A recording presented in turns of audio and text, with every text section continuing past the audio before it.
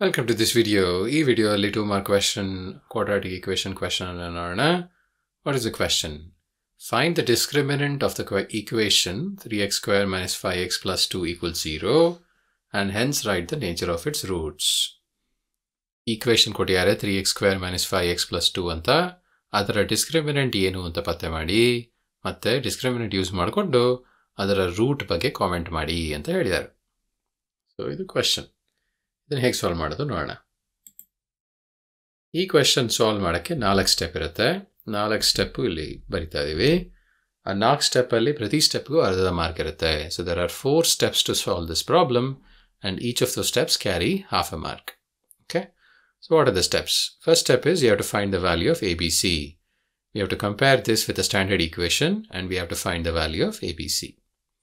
Second step is we have to write the discriminant equation and substitute the values of ABC.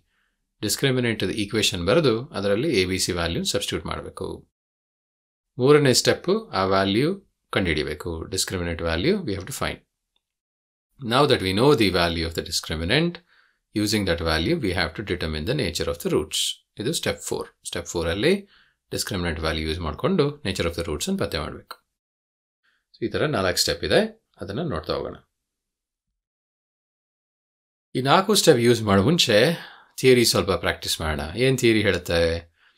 B square minus four a c is called discriminant of a quadratic equation discriminant of a quadratic equation b square minus four a c what is b a c standard ಫಾರ್ಮಲ್ಲಿ ನಾವು quadratic equation ಇದ್ದರೆ a quadratic equation a x square plus b x plus c equal zero that is the standard form b square minus four a c is the discriminant why are we interested in discriminant ಯಾಕೆ ನಾವು discriminant ಜೊತೆ interest ತೋರಿಸ್ತೀವಿ ಅಂದರೆ discriminant use ಮಾಡಿಕೊಂಡು ನಾವು roots ಬಗ್ಗೆ comment ಮಾಡ್ಬೋದು. We can write the nature of the roots using the value of the discriminant what does that mean if the discriminant value is positive positive ಆದರೆ then it has two distinct real roots discriminant value greater than zero ಆದರೆ, ಎರಡು real root ಇರುತ್ತೆ.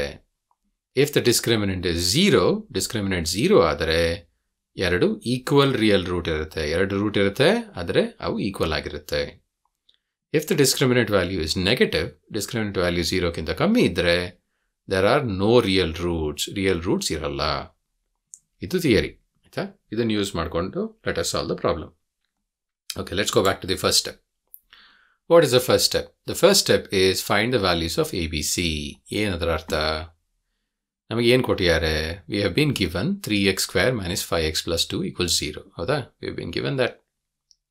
Let us compare that with ax square plus bx plus c equals 0. This ax square plus bx plus c equals 0. Compare Comparing against the standard equation, we can say that a equals 3, a 3, b equals minus 5, b minus 5 ಇಲ್ಲಿ minus ಸೇರಿಸ್ಕೋಬೇಕಾಗತ್ತೆ.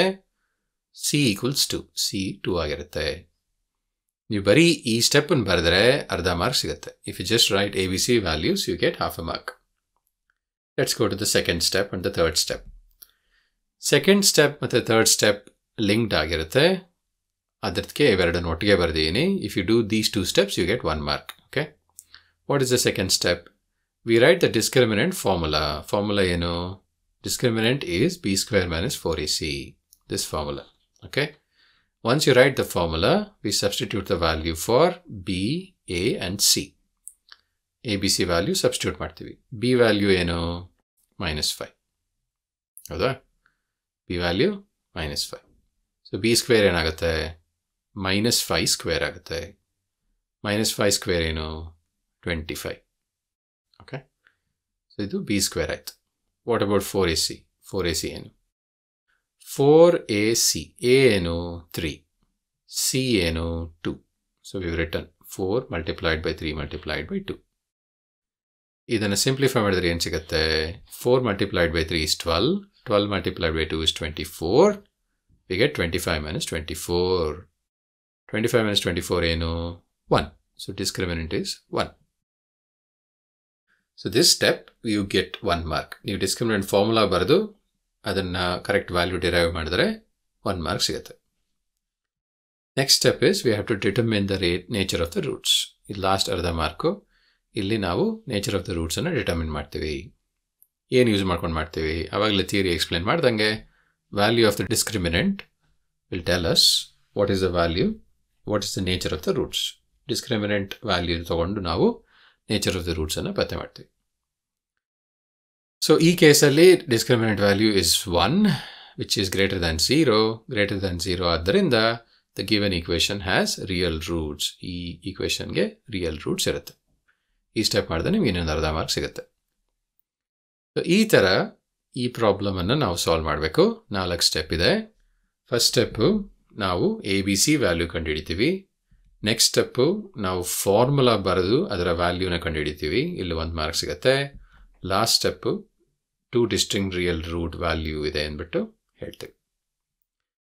Thanks for watching this video we will come back to you with new video soon till then bye